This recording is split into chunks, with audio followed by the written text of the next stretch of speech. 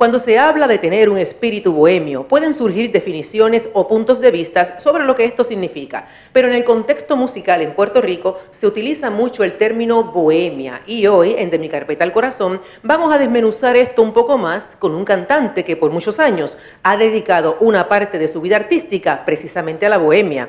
Me refiero al reconocido cantante Manolo Ruiz, a quien estaré entrevistando desde aquí, la cava de The New Oscars en Bayamón. Por supuesto que también vamos a conversar con él sobre su carrera artística en el mundo del bolero y los tríos de Puerto Rico. Les saluda a esta su amiga de siempre, Iris Yolanda Cintrón, y les invito a disfrutar esta nueva edición de De mi carpeta al corazón en imagen. No será fácil después de amarte tantas veces olvidarte si aún al verte solo quiero acariciarte, volver a amarte. Manuel Enrique Ruiz Guadalupe, a quien conocemos artísticamente como Manolo Ruiz, cuenta con una trayectoria musical que le ha distinguido en diversas facetas, entre ellas como primera voz de grandes tríos de Puerto Rico, defensor de la música de trío y protagonista de incontables bohemias, además de las producciones discográficas que ha grabado y que son joyas de nuestro pentagrama musical. Pero ¿cómo comenzó Manolo Ruiz su travesía? Dejemos que sea él quien nos cuente. ¿Cómo entra este mundo musical Manolo? ¿Cuándo fue? ¿Cómo fue? ¿Bajo qué género? Porque yo te conozco mucho por el mundo de los tríos y el bolero, pero tal vez comenzaste como eh, he hecho otras entrevistas que las personas me dicen, no, yo empecé en la salsa o en la bachata. Así que, ¿qué nos cuenta Manolo Ruiz? ¿Qué nos puedes contar sobre este aspecto? Claro, con gusto. Antes que nada, muchas gracias por el espacio. Eh, muchas felicidades gracias. a ti y a todas las personas que nos van a escuchar y ver. Pues mira, yo comencé primero estudiando, obviamente, a la apenas 11 años, comencé yo en la Escuela Libre de Música de Caguas y comencé estudiando trompeta. Yo me hice trompetista ya a los 12, 13 años, ya yo estaba tocando bastante bien dentro de lo que cabe en aquella época. Y sí, comencé en otro género, comencé con la salsa, pero como músico, no como cantante. ¿Cómo entro cantante?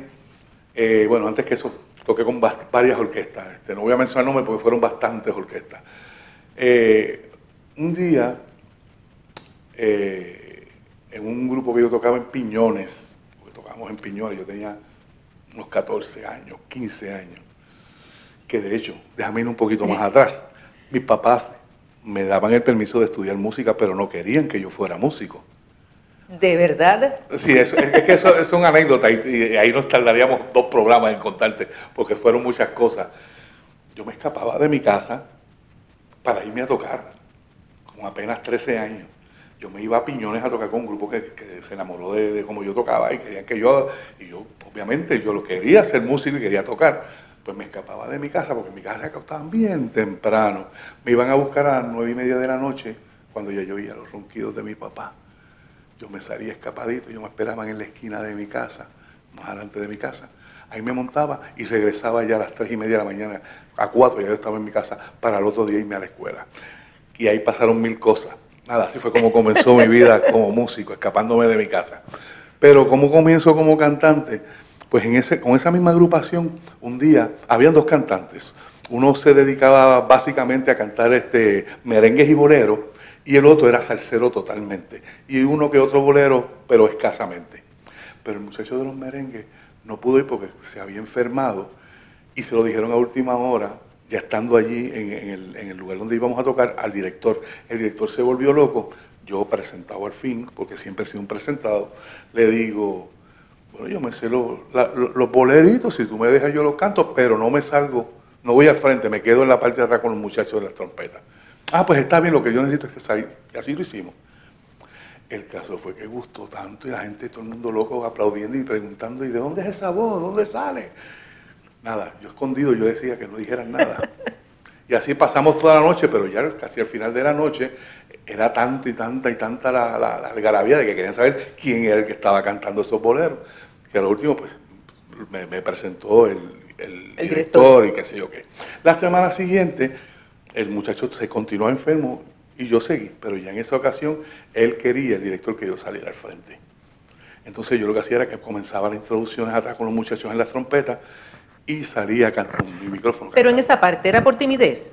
¿Por alguna razón particular? Sí, porque es que yo nunca me conceptué, de hecho, al sol de hoy yo no me conceptúo un cantante. Yo lo que pasa es que me encanta cantar, que son dos cosas distintas. Pero yo no me conceptúo. Qué interesante. Yo realmente no me conceptúo un cantante. De hecho, tampoco me conceptúo ni músico, porque yo tuve que dejar la trompeta.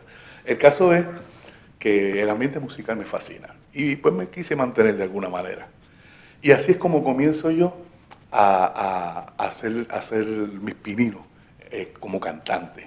Cuando tenía apenas unos 13, 14 años, allá en, un nightclub que había en Piñones, que ni recuerdo el nombre de tantos años. Ahí es que comienzo. Eh, luego eh, de eso estuve, no recuerdo, tal vez hasta los 18, 19 años aproximadamente, y tuve una bien mala experiencia con una orquesta. No quiero tocar mucho ese tema porque fue bien fea la experiencia. Y corté por completo con las orquestas. Ahí, ese fue el momento en que dije, no toco más. Meses más tarde me contacta el papá de una amiga mía que sabía que, sabía que yo que, más o menos cantaba. Me dice, están buscando este, una primera voz para un trío. Y yo, Tony, pero yo no sé nada de trío. O sea, yo no sé canciones. Las he escuchado porque en mi casa los, mis papás la, ponían en la radio qué sé yo y dijo, tú ven que es lo que quieres escucharte. Pues nada, voy a, voy a la casa de ese papá, de esa amiga mía, y el papá me presenta a este señor y me dice una guitarra enorme, eléctrica. Y yo veo aquel tipo que tocaba de una, manera para mí, o sea, era mágico lo que yo estaba viendo. un dominio de aquella guitarra que yo jamás pensé que alguien dominara una guitarra de esa manera. Me dice, no te cantes nada de tío, dime de los boleros que tú cantabas en la orquesta, que, que, tú cantabas, y le envié arranco a cantar y le a acompañarme, como si hubiésemos estado juntos toda la vida.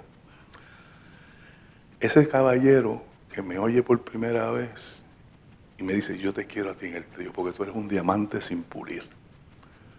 Se llamaba Junior González.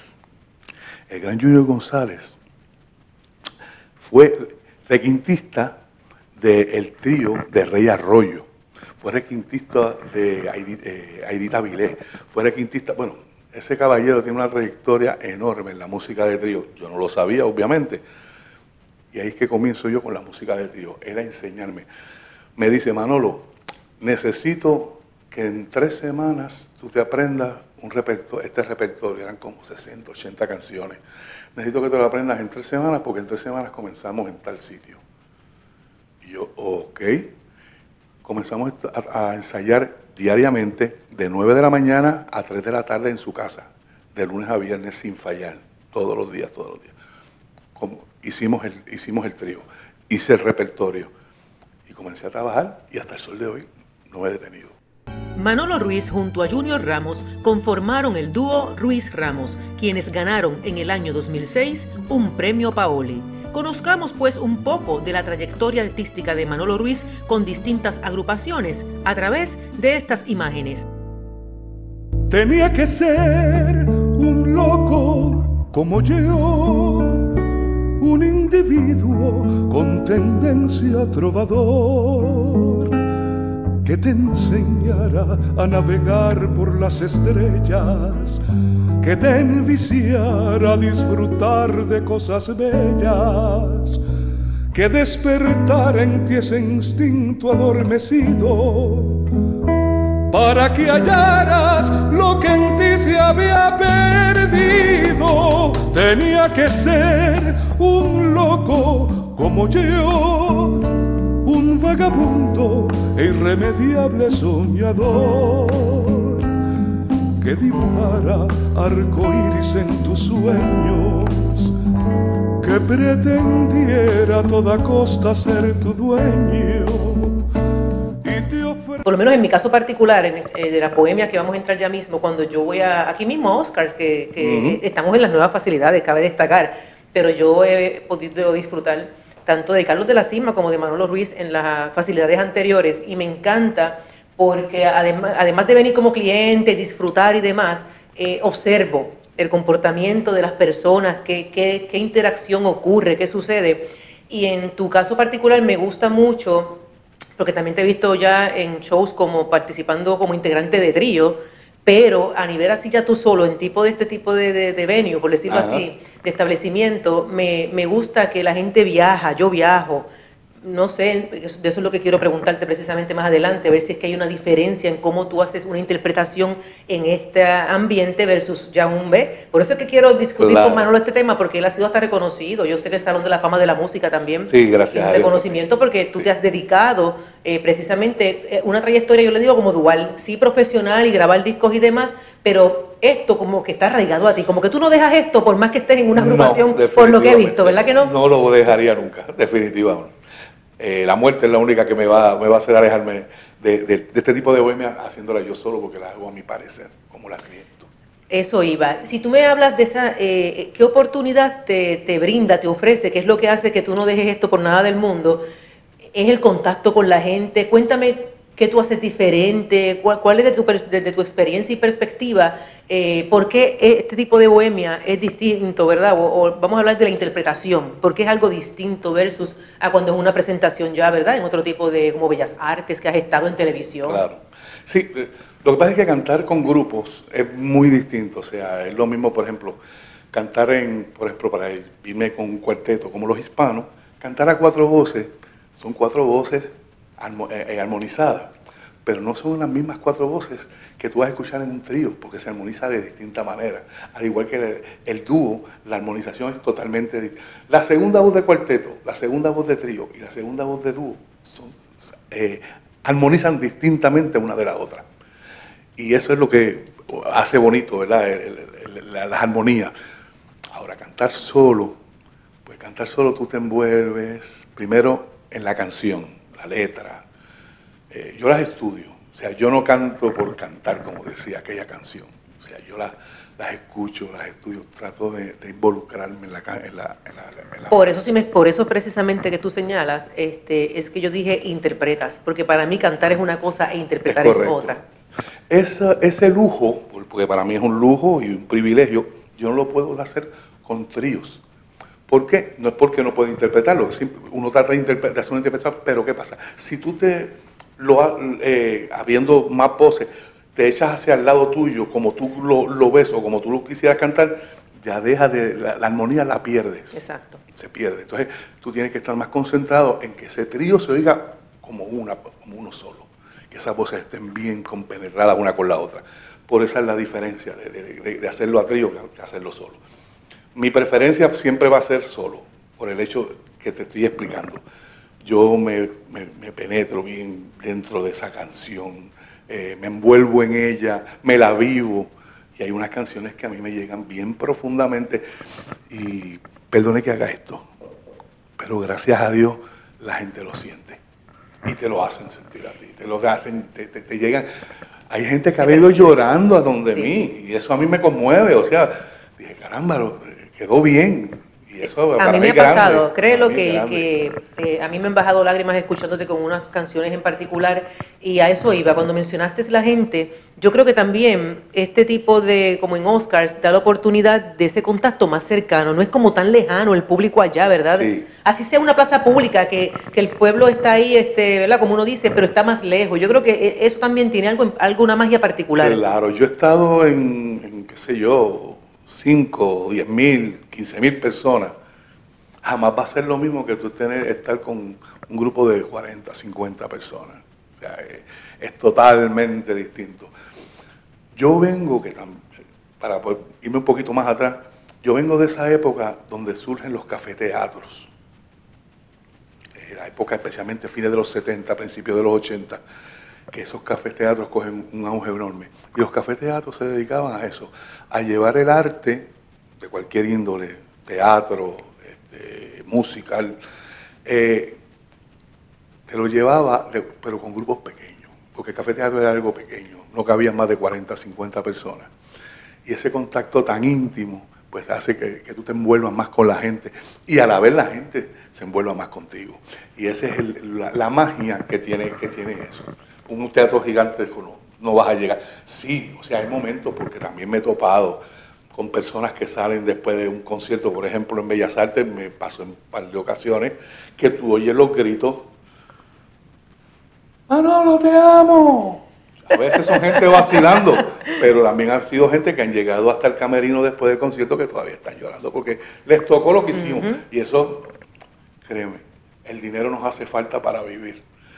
Pero nada como un buen aplauso que tú sabes que salió del corazón de una persona. Eso para mí es lo máximo. Y esta, este género precisamente, eh, no solo porque yo sea ¿verdad? Pues admiradora desde jovencita, pero una, una de las particularidades que tienes es precisamente eso, que la letra, que de eso también quiero este, dialogar contigo, eh, la letra, esa, esa composición que obviamente hay una combinación, ¿verdad? El autor, el arreglo musical y quien la canta. Es una combinación eh, para hacer esa pieza magistral. Pero hablando ahora de esa parte de las interpretaciones, de las nuevas canciones, yo sé que recibí hace poco en North Carolina, antes de regresar a Puerto Rico, el disco eh, que me enviaste, pero en términos de grabar, tú como artista, eh, sé que estás con un trío, este, Los Cancioneros. Los Cancioneros, estoy eh, que próximamente tal vez grabarán, harán alguna producción nueva. ¿Qué tú opinas desde, tu experiencia? Si hace falta como grabar más canciones inéditas, un poco transicionar, eh, una combinación ¿no? de esos éxitos que siempre vamos a seguir y a pedir, porque mira, te lo van a pedir, pero un poco, yo por lo menos percibo que hay una falta de, grabar nuevos temas y algo más atemperado para estas nuevas generaciones. No sé, ¿cuál es tu opinión sobre eso? No, no, no, tú has tocado un tema que ha sido mi crítica a mi género, al de los tríos, desde hace más de, ¿qué te puedo decir?, 25, 30 años, tal vez, donde yo he pedido, me acerqué a los grandes, en aquella época los, maestros de la música de trío que aún estaban vivos, de qué manera podíamos nosotros hacer algo para comenzar a atraer a los jóvenes. ¿Por qué? Porque ya las personas adultas ya las teníamos al lado de acá pero necesitamos atraer a la gente joven, necesitamos hacer algún tipo de cambio, algún tipo de, salirnos de, lo común para atraer a los jóvenes. Siempre hay uno que otro joven, y tú eres un digno ejemplo de ello, que le gusta, pero no tenemos las masas, las masas se nos han ido. Ya yo diría, y tal vez sea un poco, me dirás pesimista, pero yo diría que soy más bien realista porque llevo muchos años tras de esto este, nosotros estamos ya a punto de, estamos en un peligro grave de extinción. Este, lamentablemente porque no nos dedicamos a traer las masas. Mira, eh, cuando estuve con los andinos, lo hicimos en un par de ocasiones, y eso a mí me llenaba de un orgullo enorme, ir a las escuelas. A mí me encantaba ir a las escuelas y lo atento de niños de 6, 7 años que por lo regular están inquietos. No, no, no, yo sentaditos, atentos, preguntando. ¿Por qué no pudimos haber hecho eso desde antes? Y atraer, tal vez no lo pudiéramos haber cogido a todos, pero por lo menos 50, 60 de ellos, son 50, 60 que ya estuvieran adultos ahora. Y a eso es lo que yo me refiero. No, no tuvimos esa visión y la hemos perdido. Lamentablemente, pues, siempre hay unos que otros, hay unas, unas generaciones intermedias, porque nuevas Realmente hasta ahora yo no he visto ninguna. Pero unas generaciones intermedias que mantienen aún la, música de trío y les interesa mucho. Han salido muy buenos músicos, mejores músicos que antes, porque son estudiosos, han estudiado música. Y gracias a Dios, pues eso nos da un, pequeño respiro para decir, pues puede ser que todavía nos queden unos 40 o 50 años más. Exacto. Pero yo no, más de eso yo no y, ojalá me equivoque. No, eh, es que lo que mencionas es real. Yo lo que pienso es que uno puede ver, a estas alturas del juego que puede rescatar. Y yo creo también que en las escuelas se debe enseñar más música. Eh, es como un, un, esfuerzo en equipo, ¿no? Tanto los artistas y los músicos, porque ese ejemplo que traes de los andinos eh, es excelente en el sentido de que tú estás exponiendo a las personas, ¿verdad? Este, pero tiene que haber algo a nivel colectivo, ¿no? Este, las escuelas públicas, un compromiso de los artistas, ¿verdad? Claro, y nosotros hacer eso una vez al año, sí, ayuda, pero no es suficiente. No es suficiente. Y aparte, vamos a poner que lo que nos queden en Puerto Rico sean, por decir un número, 100 tríos. Es más, 50 tríos. Nos distribuimos la isla, vamos a las escuelas, las escuelas libres de música van a estar, estoy seguro que si no, le, hacemos el acercamiento, van a estar de acuerdo en llevarle un taller a los muchachos de la Escuela Libre de Música. Tal vez una vez al mes no se pueda, pero una vez cada dos o tres meses. O sea, yo entiendo que que hay, hay talleres para, para buscar jóvenes, pero si no nos movemos. Y doblemente, en mi, yo opino, ¿verdad? Que es una pena porque más allá del que cante y demás, es que hay tanta historia detrás del género del bolero en cuanto a Puerto, a Puerto Rico se refiere a nivel de reconocimiento a nivel mundial de los compositores, los cantantes, y es una pena, ¿no? Esa, esa siempre ha sido también parte de mi, de mi crítica, ¿verdad? Constructiva en esa línea. Al presente, Manolo Ruiz es integrante del trío Los Cancioneros junto a Víctor Roldán y Ricardo Felio uno de nuestros más reconocidos requintistas. De hecho, el pasado sábado se presentaron con una excelente acogida del público en el concierto de tríos, celebrado en la sala Felipe La Voz Rodríguez del Centro de Bellas Artes de Caguas.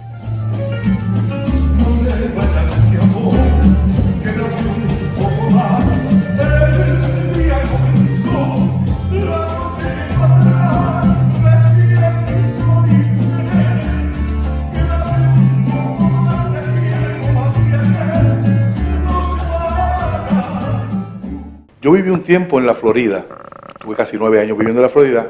Todavía viviendo en la Florida, Ricardo me llamaba para hacer actividades acá y iba y venía. Ya regreso en el 2003 definitivamente y me uno permanentemente al trío Los Cancioneros en el 2003. Estoy con ellos hasta el 2000, uh, si mal no recuerdo, el 2009, 2010 por ahí aproximadamente. Y grabamos un par de discos grabamos un par de discos y Ricardo pues un maestro de maestros, es de los maestros que quedan, gracias a Dios, aún eh, activos en la música de trío. Así que hay que aprovecharse. A quien espero entrevistar algún día también, siempre, siempre se lo he dicho. Sí, pues créeme que va a estar, va a estar disponible. Va a estar disponible y él es muy abierto a eso. Y, de hecho que te invito también, los domingos estamos en el Hotel Sheraton a las 3 de la tarde. Estábamos el trío de los canciones todos los domingos a las 3 de la tarde en el Casino Metro del Hotel Sheraton. Ya lo saben. Y de hecho, que no le hemos dicho, aquí en Oscar, para que también te Y aquí en Oscar estoy todos los jueves, Bohemia Pura. Esto es para arrancarse las venas desde las 7 de la noche en Oscar, aquí en Bayamón. No Oscar Baileonor se llama el restaurante. Vamos a, ahora a entrar un poquito más en, materia de lo que queremos discutir en términos del concepto de la bohemia. Un poco eh, hablarle más a todos los seguidores y seguidoras qué es la bohemia. ¿Cuál es, eh, digo, tú llegas a un sitio y te pones a cantar y dices, aquí yo recuerdo, wow, hace mucho tiempo eh, con el trío eh, Los Condes, Tommy Figueroa, yo hice, cuando estaba en aquel momento en la radio, porque yo comencé a los 19 con la música de trío en la radio, y recuerdo que luego de celebrar un aniversario en los que estuvieron varios tríos en tarima, eh, al lado había un establecimiento en Patillas, eh, un negocio y allí se quedaron Tommy Figueroa, este Ramo del Trío Los Condes, bueno, varios artistas hasta la, bueno, yo diría que como hasta la una y pico, dos de la mañana, que ello se llenó y la gente dijo, esta bohemia, eh, y el dueño del garaje, que era un abogado, sacó allí, este, tú sabes lo que sacó, yo no tengo que decir, y eso fue para largo. Eso, es una bohemia. Eh, exacto, así que cuéntame un poco de historia del, del concepto. De hecho, tú, tú has dicho la palabra, bohemia es el concepto. Entonces, Ahí viene la diferencia entre lo que es bohemio y lo que es un bohemio. Pero nada, no vamos a entrar en ese detalle. La bohemia es eso mismo. El reunirse unas amistades, unos amigos, hasta personas que tú no conoces que se acercan porque les, interesa, o les gusta la música. Comienza uno a arrancar unos acordes en la guitarra, arranca a cantar una canción, luego viene otro y canta otra. Todo es espontáneo. La bohemia es espontaneidad. Eso es bohemia. No es vente tú para que te cantes algo, no, no, no. O, o obligarte a cantar. No, no, no, no. La bohemia es bien espontánea. Esa es la verdadera y real y pura bohemia. La que es totalmente espontánea. O surge tú de momento y, y, de, un poema declamas unos versos entre medio de, los acordes de una guitarra. Como hicimos en el programa de Manolo. Exactamente, que se hizo, que quedó precioso ese programa. Eso es bohemia. Y, tú, tú, percibes, ¿verdad?, como algo diferente en la gente, porque yo miraba, y lo miro aquí también en Oscars, como te dije, y la gente es que está sintiendo otra cosa, la gente se da cuenta que, no, que, que yo creo que esa cercanía con la letra, además del artista, eh, y, que, está viendo que los demás pares están en las mismas. En la misma. Mire, eh, probablemente estamos aquí en Oscar en una silla, yo estoy pensando en un viejo amor, la otra persona está pensando, ya vez llegó aquí a darse una copa de vino porque lo dejaron o la dejaron. o sea, son tantos sentimientos que se encuentran en un mismo lugar que yo creo que esas vibras, ¿verdad?, se juntan. Mejor tú no las puedes explicar.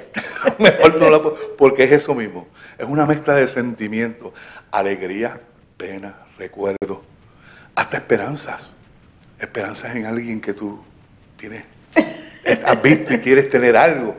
O, me voy más allá, porque el bohemio, aparte de lo musical, que es lo que nos estamos basando hoy, el bohemio es un poco más, más, abierto, porque el bohemio llega a nivel del mundo, de que quisiéramos tener la esperanza de, que, como dice la canción, pudiéramos cantar todos en las calles, pudiéramos decirle al vecino que mucho, qué alegría tenerte de vecino, que mucho yo quiero a mi vecino. O sea, eh, el ambiente, poder trabajar con el ambiente, ayudar al ambiente, al medio ambiente, a no, destruirlo. El bohemio expande sus pensamientos hasta ese nivel. Obviamente nos, estamos concentrando en la música, pero eso es un bohemio.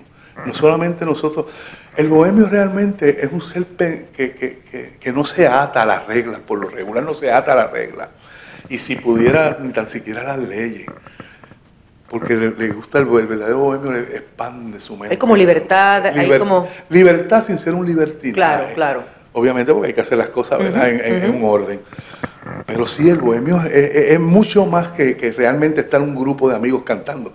Pero nada, a nosotros pues obviamente nos, conlleva en, la música, porque también hay unos bohemios exquisitos en el arte, en la pintura, y no por eso no dejan de ser bohemios.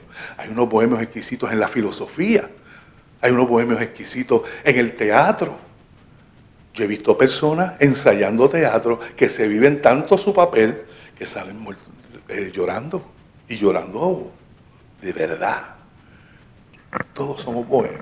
Lo que tenemos es que, llevarlos a la expresión todo el mundo se dé cuenta de lo que es un bohemio. Sí, yo creo que en, el aspecto de la bohemia, eh, porque yo, por ejemplo, yo no canto, muchas personas me preguntan creyendo que, como hago estas cosas, y yo, mira, no canto más que en la ducha y con miedo que se vaya el agua. Y te interrumpo y te disculpo. Eso es otra de las características de un bohemio.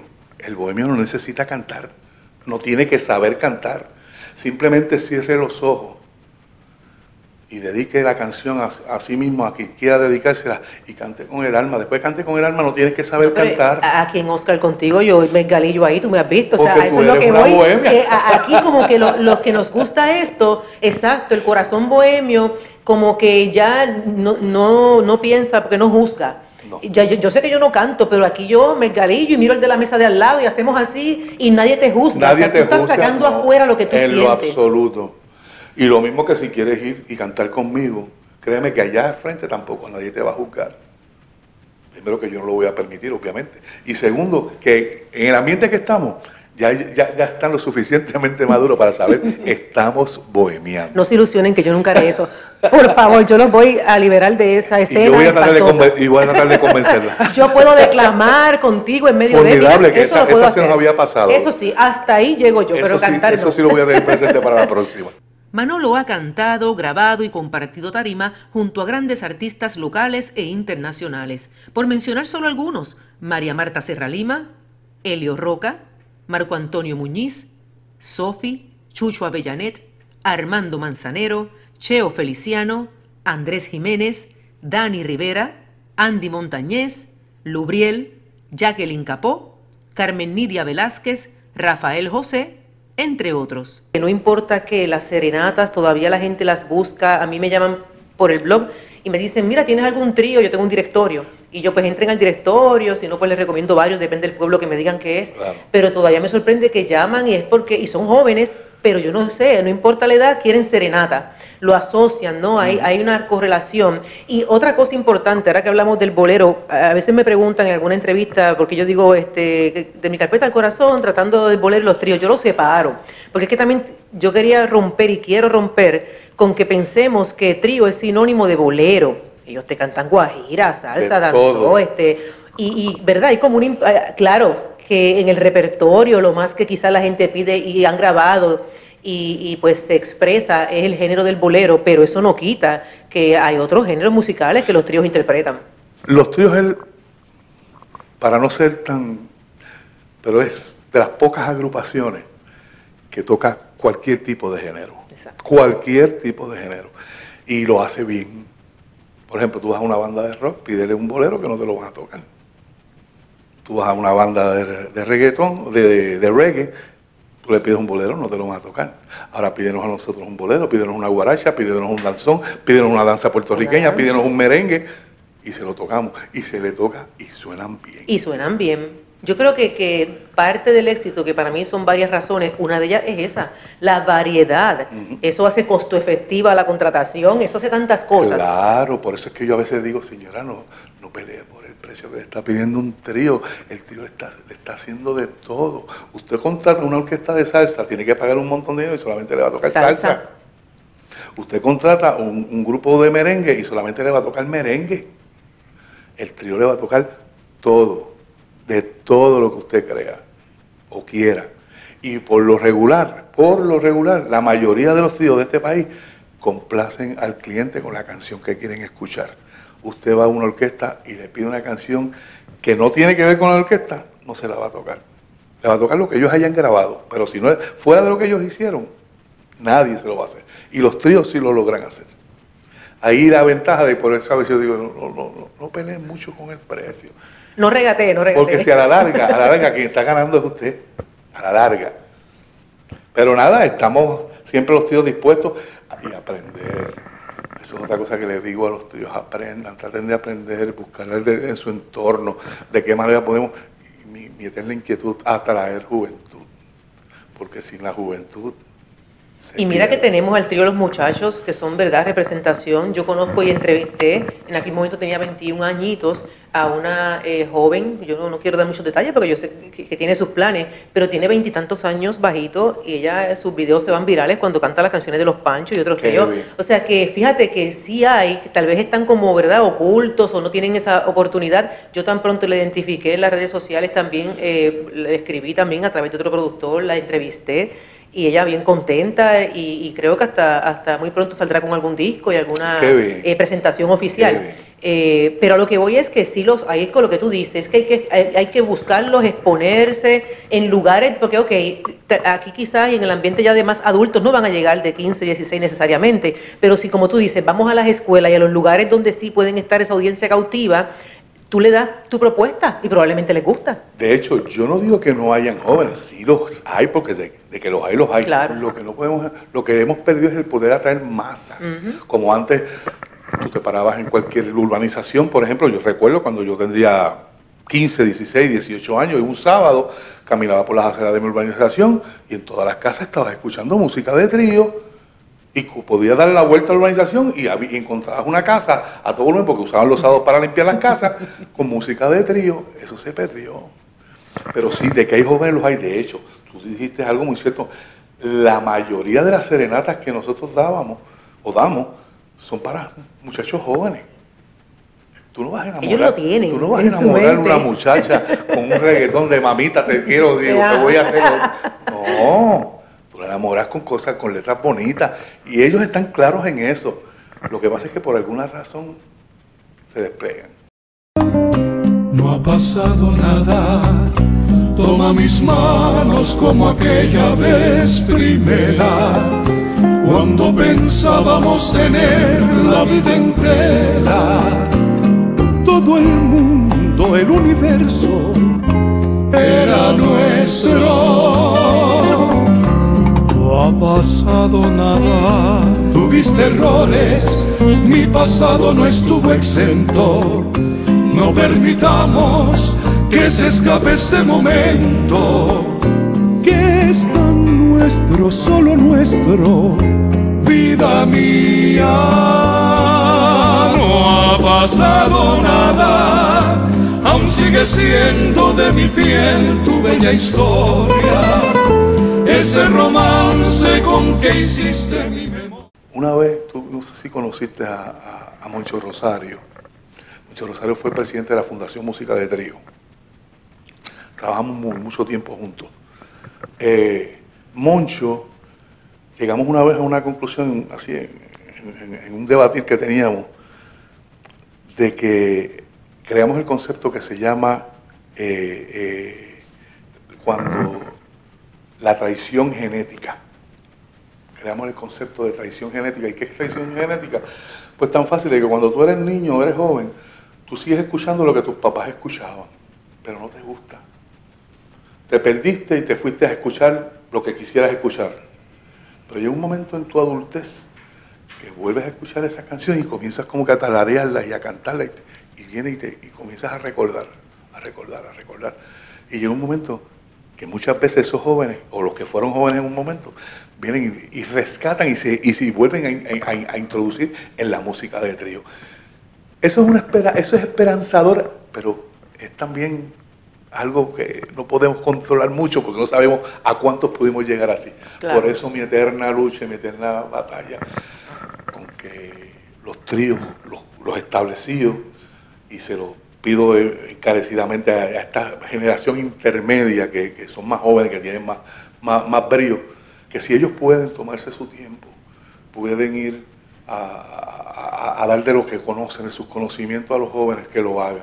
El medio, pues consíganlo en la escuela, escuela libre de música, hasta en las mismas alcaldías que tienen sus centros culturales, que dan clases a jóvenes. O sea, hay medios, hay dónde hacerlo cuestión de que nos Yo estoy 100% de acuerdo, inclusive una de las ideas que tengo como iniciativa de, porque ya los seguidores saben que ya regresé oficialmente a Puerto Rico, ¿verdad? Para, para quedarme aquí en mi patria, bella y querida. Y es que precisamente en el marco de la celebración de febrero, el mes nacional de la música de tríos, impactemos escuela, hagamos ese tipo de exposición, aprovechando, ¿verdad? Esa, esa conmemoración. Que esa era la idea original. Esa era la idea original, donde eh, eh, la fundación iba a distribuir a, todos los pueblos. Es más, voy más allá.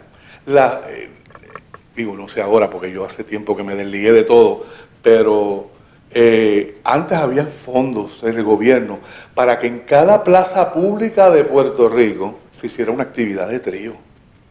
No sé, no sé, porque yo, como te digo, me desligué, no sé cómo está ahora, pero antes era así habían fondos para que cada en, eh, se escogieran tríos para que en todas las plazas públicas, un día en febrero, se hiciera música de trío y pudieran atraer a estos jovencitos, dar talleres. O sea, hay maneras, hay maneras, es cuestión de, ver de qué manera nos, animamos. Pues hay que, hay que animarse y lo que se pueda rescatar, ¿verdad? Para que, como tú bien señalas, dentro de que uno es realista y no podemos tapar el, ¿verdad? el sol con una mano, pero lo que podamos rescatar es bueno, es bueno. Uno, que entre Claro que sí, y darle apoyo una vez que estén inmersos, no, como que, no, que haya un seguimiento, no, abandonar a aquellos jóvenes, ¿verdad? Este, que jovencitos y jovencitas que estén mostrando, ya sea como compositor, porque vamos a hablar, diferentes facetas, no es nada más que cante, puede ser que le guste escribir y otro le guste tocar la guitarra y quiera aprender el requinto, o sea que es simplemente no abandonarlos una vez que estén inmersos, que ya los capturemos como, como un plan de seguimiento, ¿verdad? Por decirlo así. Definitivamente. No, yo de verdad que, que, la he pasado también y yo creo que vamos a tener que hacer otra edición. Nos quedamos yo creo que sí, sí, yo creo que sí, vamos a ponernos de acuerdo, eso es ya una, deuda pendiente. Yo soy como Felipe Rodríguez, debo y pagaré. Así que eh, te agradezco encomiablemente que, que hayas compartido con nosotros.